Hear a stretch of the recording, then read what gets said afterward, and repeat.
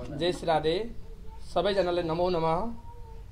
हजुरहरूलाई हाम्रो यस खोक्ला बस्ती नाला सटक जो पिपल गई नाला सटक जो छ त्यस स्थानमा हाम्रो समस्त भक्तवृन्दहरूद्वारा एउटा मनोकामनाद्वारा उहाँहरू सबै हामी मिलेर श्रीमद् भागवत सप्ताह ज्ञान महायज्ञ भोलिबाट उन्नाइस तारिकबाट हाम्रो यस ठाउँमा प्रारम्भ हुन गइरहेको छ।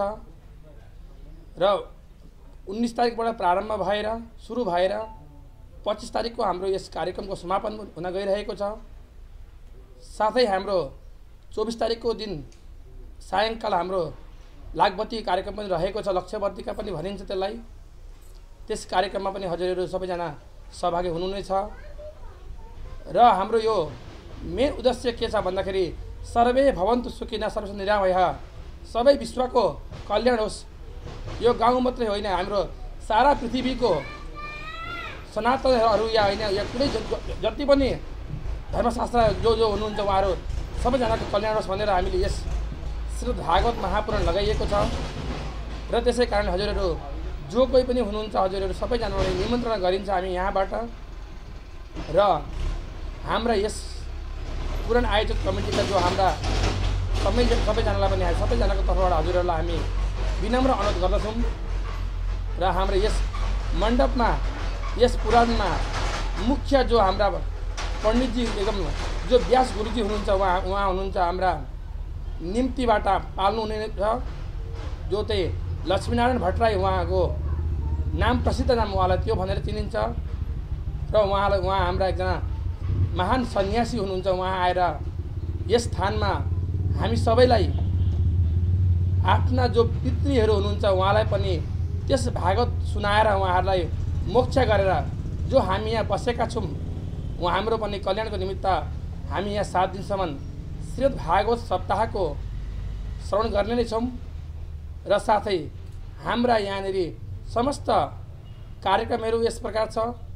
सबैभन्दा हामीले भोलि उन्नाइस तारिकको हाम्रो साढे नौ बजीदेखि कलेज यात्रा प्रारम्भ भएर बाह्र साढे बाह्रसम्म सम्ममा हाम्रो कलश समापन हुन्छ साथै भोलि हाम्रो एक बजीदेखि लिएर कथाको प्रारम्भ गर्ने गरिनेछ र साथै हाम्रा गुरुजीहरूलाई पनि हामीले वर्ण आदि कर्म गरिनेछ र हाम्रा कलाकार मित्रहरू जो एकजना हुनुहुन्छ हाम्रो जो गायक हुनुहुन्छ उहाँ हाम्रो नगरकट्टाबाट आउँदै हुनुहुन्छ।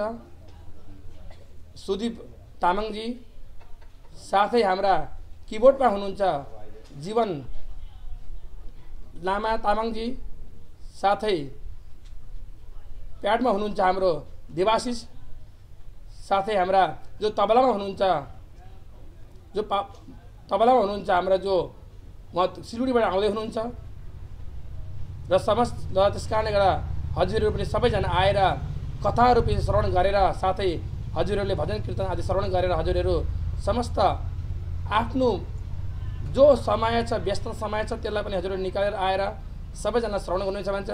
हामी पुरानो कमिटीको तर्फबाट हजुरहरूलाई यही विनम्र छ। जय श्री राधे सबैजनालाई राधे राधे।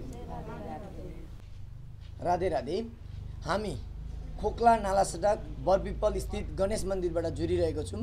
हामी सम्पूर्ण गाउँवासी मिलेर यसपालि हामी पहिलोचोटि हाम्रो गाउँमा पुराण लगाउन गइरहेको छौँ।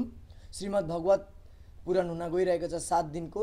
र हजुरहरू जतिले पनि दर्शकबिन हजुरहरूले हेरिराख्नु भएको छ हजुरहरूलाई हामी गाउँवासीको तर्फबाट निमन्त्रण साथै आग्रह गर्न चाहन्छौँ हजुरहरूको अमूल्य समयलाई निकालेर हजुरहरू व्यस्त समयमै निकालेर भए पनि हजुरहरू यस मन्दिर प्राङ्गणमा आएर हजुरहरूले भजन कीर्तन सुनिदिनुहोस् होला।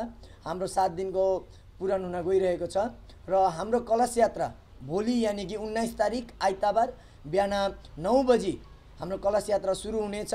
हामी कलश यात्रा सुरु गरेर भोलिदेखिको पुराण सुरु भएपछि उन्नाइस तारिकदेखिको पच्चिस तारिकसम्म हाम्रो पुराण हुन गइरहेको छ।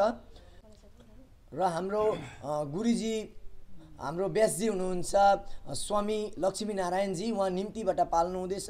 उभ्यासमा हुनुहुन्छ हाम्रा गुरुजी राजु नेपालज्यू जयगाउँबाट।